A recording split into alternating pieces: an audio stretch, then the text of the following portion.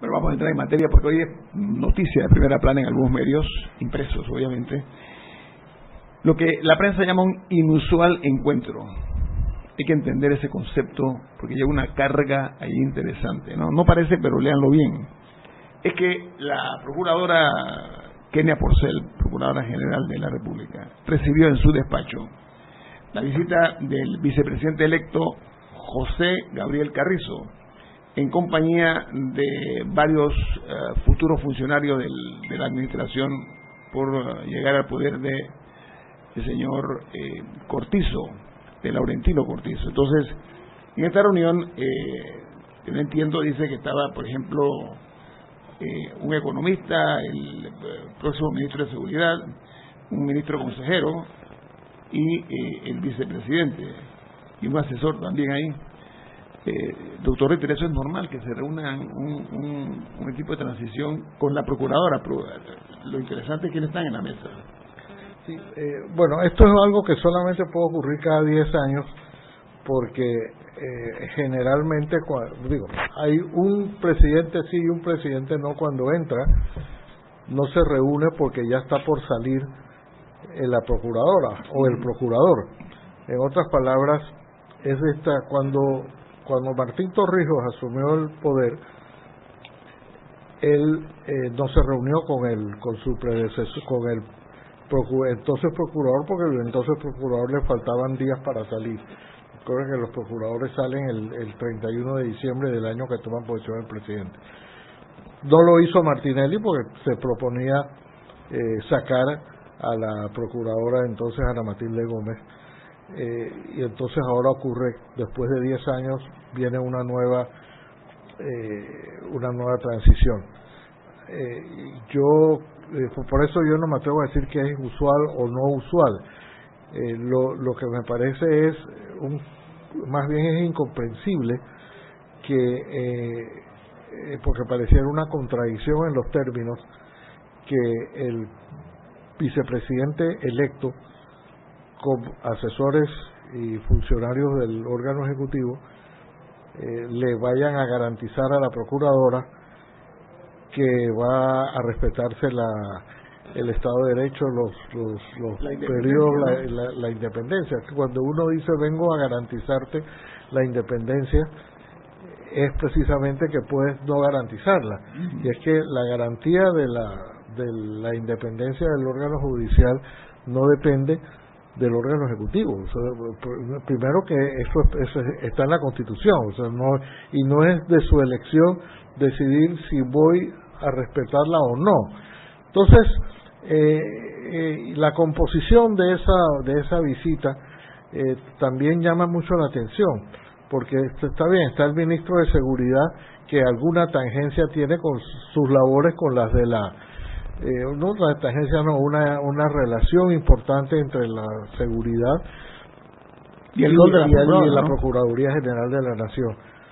Pero si me preguntas qué hacía allí, por ejemplo, el asesor para las inversiones internacionales o, el, o un funcionario que se dice que va a ser eh, viceministro en el, en el Ministerio de Economía y Finanzas, o, Rafael Mezquita tendría un poco más porque es asesor eh, en muchos aspectos de la del PRD y del, del presidente electo, pero sí pareciera como que si era una visita de cortesía, como que fue la expresión que usó el vicepresidente electo, pues esa visita de cortesía entonces le corresponde, le hubiera correspondido más bien es al, al propio presidente electo. Pero al decir que es el que fue el vicepresidente, que es el que el encargado por él de la transición, da la impresión de que ahí también o iba a haber una transición o fue a decir que no la va a haber. O sea que se, se va a quedar la procuradora, que tampoco es de su elección, o sea, la procuradora está elegida ahí por 10 años.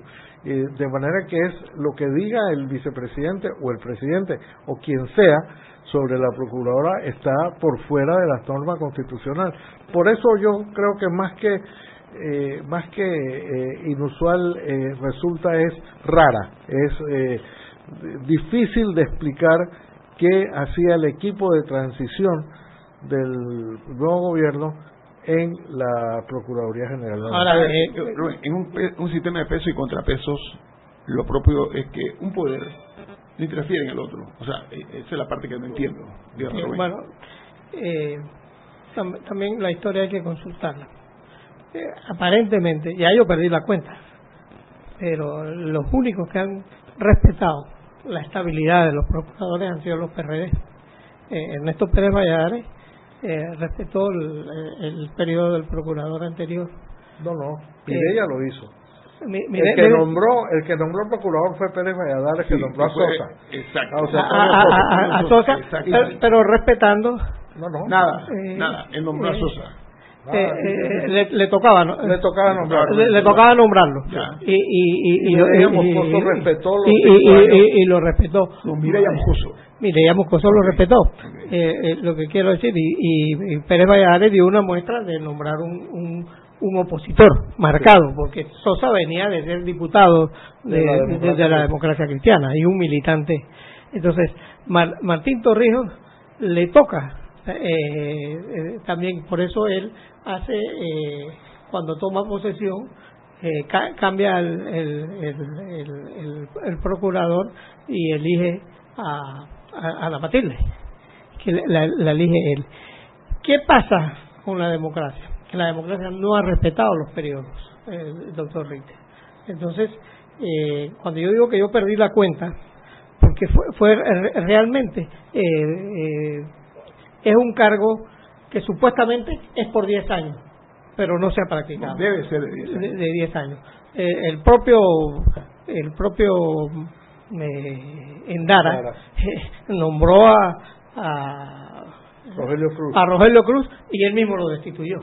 Entonces, eh, violando violando esos esos periodos. eso, tenemos que tenerlo claro, porque si no se va a respetar eso, es mejor cambiarlo y que cada cada presidente en Colombia tenían un, un, método, doctor Ritter, que era que nombraban a alguien de la oposición, ¿no? Bueno, era, de la Contraloría. De, la Contraloría se la daban a alguien eh, eh, el presidente elegía a alguien de la oposición y con el visto bueno de la oposición. Eh, esas son prácticas civilizadas que debemos ir, ir utilizando.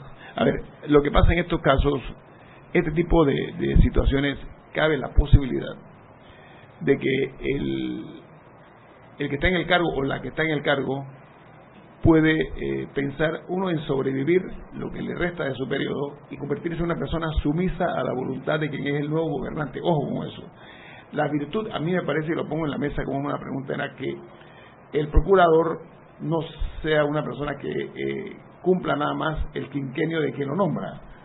O sea, que venga después otro quinquenio donde viene un presidente o presidenta que no tenga ningún vínculo con el procurador o procuradora de turno. Eso le podría dar incluso un poco más de, autonomía. Toda vez que ustedes recuerdan, y estos son los errores que creo que se cometen, puede ser involuntariamente, puede ser impericia, que, la descarto la impericia. Cuando el presidente Varela, de una forma para mi gusto imprudente, y lo dije, la palabra lo usé en su momento, él llama a la procuradora desde el parque de la Plaza Porras, ante la presencia de gente que tenía ahí celulares, y le sacan el audio y el video al presidente llamándola la, con un, tono muy coloquial a, la, procuradora y eso cayó muy mal.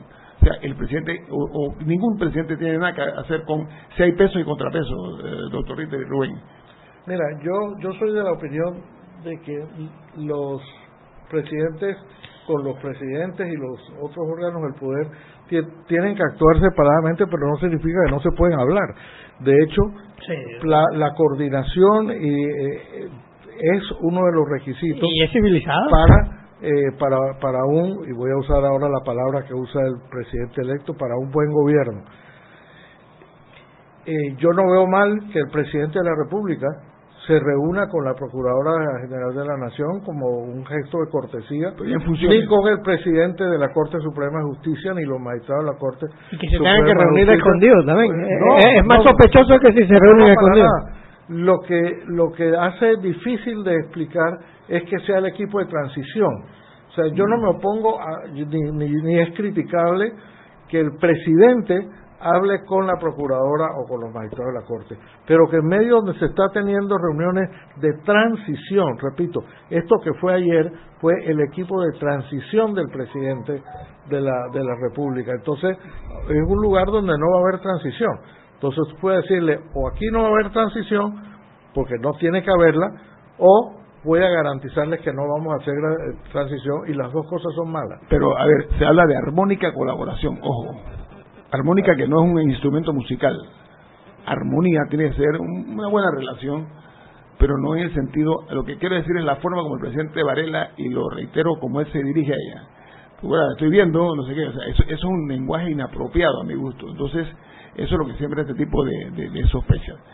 Yo ah, nada más registro en este programa con Rubén Darío Murgas y con Jorge Eduardo Ritter que esta es una esta esta reunión se interpreta como estamos haciendo nosotros para muchas cosas y eso no cabe en este momento de una transición ojalá que sea para bien que se tome la decisión correcta en cuanto al, eh, al arribo al poder de un nuevo gobierno que todos esperamos que cumpla eh, su rol eh, lejano a cualquier intromisión en otro poder del Estado. Vamos al corte comercial. Eso es Info Análisis, un programa para la gente inteligente.